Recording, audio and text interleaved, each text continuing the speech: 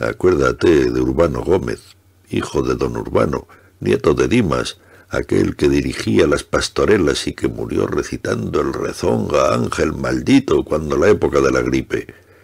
De esto hace ya años, quizá quince, pero te debes acordar de él, Acuérdate que le decíamos el abuelo, por aquello de que su otro hijo, Fidencio Gómez, tenía dos hijas muy juguetonas, una prieta y chaparrita que por mal nombre le decían la remangada, y la otra que era rete alta y que tenía los ojos zarcos y que hasta se decía que ni era suya, y que por más señas estaba enferma del hipo.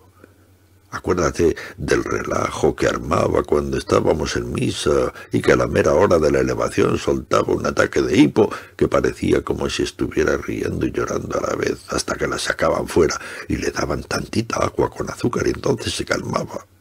Esa acabó casándose con Lucio Chico, dueño de la mezcalera que antes fue de Librado río arriba por donde está el molino de linaza de los Teódulos.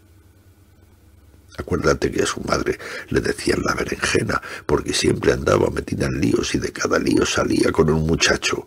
Se dice que tuvo su dinerito, pero se lo acabó en los entierros, pues todos los hijos se le morían recién nacidos y siempre les mandaba cantar alabanzas, llevándolos al panteón entre música y coros de monaguillos que cantaban hosanas y glorias y la canción esa de ahí te mando, Señor, otro angelito. De eso se quedó pobre, porque le resultaba caro cada funeral, por eso de las canelas que le daba a los invitados del velorio. Solo le vivieron dos, el Urbano y la Natalia, que ya nacieron pobres, y a los que ella no vio crecer porque se murió en el último parto que tuvo ya de grande pegada a los cincuenta años. La debes haber conocido, pues era muy discutidora y cada rato andaba en pleito con las vendedoras en la plaza del mercado porque le querían dar muy caros los jitomates.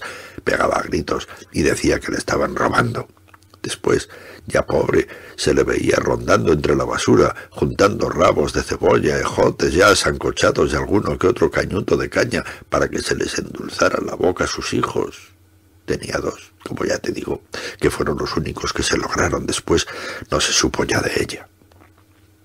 Ese Urbano Gómez era más o menos de nuestra edad, apenas unos meses más grande, muy bueno para jugar a la rayuela y a las trácalas.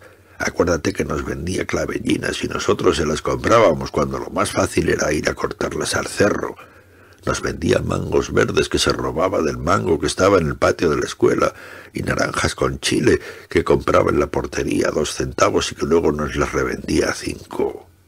Rifaba cuanta porquería y media traía en el bolso, canicas, ágata, trompos y zumbadores y hasta mayates verdes de esos a los que se les amarra un hilo en una pata para que no huelen muy lejos.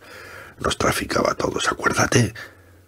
Era cuñado de Nachito Rivero, aquel que se volvió tonto a los pocos días de casado y que Inés, su mujer, para mantenerse, tuvo que poner un puesto de tepeche en la garita del Camino Real mientras Nachito se vivía tocando canciones todas refinadas en una mandolina que le prestaban en la peluquería de Don Refugio.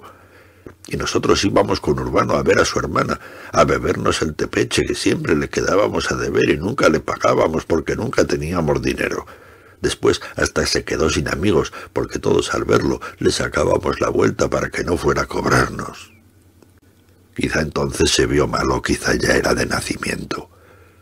Lo expulsaron de la escuela antes del quinto año porque lo encontraron con su prima, la remangada, jugando a marido y mujer detrás de los lavaderos, metidos en un aljibe seco. Lo sacaron de las orejas por la puerta grande, entre el risón de todos, pasándolo por una fila de muchachos y muchachas para avergonzarlo, y él pasó por allí con la cara levantada, amenazándolos a todos con la mano y como diciendo ya me las pagarán caro.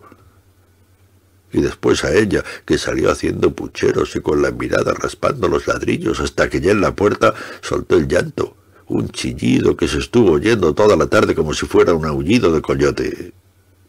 Solo que te falte mucho la memoria, no te has de acordar de eso. Dicen que su tío Fidencio, el del molino, le arrimó una paliza que por poco lo deja parálisis y que él de coraje se fue del pueblo. Lo cierto es que no lo volvimos a ver sino cuando apareció de vuelta aquí convertido en policía. Siempre estaba en la plaza de armas, sentado en la banca con la carabina entre las piernas y mirando con mucho odio a todos. No hablaba con nadie, no saludaba a nadie, y si uno lo miraba él se hacía el desentendido como si no conociera a la gente. Fue entonces cuando mató a su cuñado, el de la mandolina. Al Nachito se le ocurrió ir a darle una serenata ya de noche poquito después de las ocho cuando las campanas todavía estaban tocando el toque de ánimas.